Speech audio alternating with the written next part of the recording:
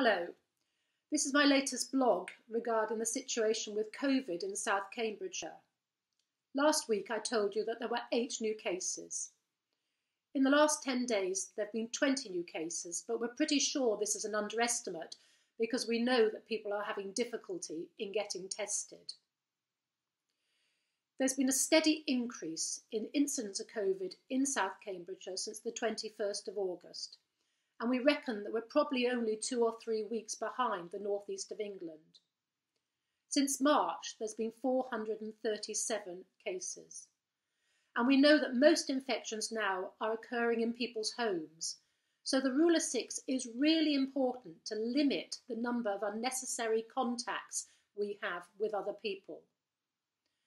My Cabinet member Bill Handley has taken on responsibility for health and well-being and for communities and he's going to be talking to all the fabulous volunteer groups who helped us so much during lockdown about how they could remobilise in the future. This situation is more complex than lockdown.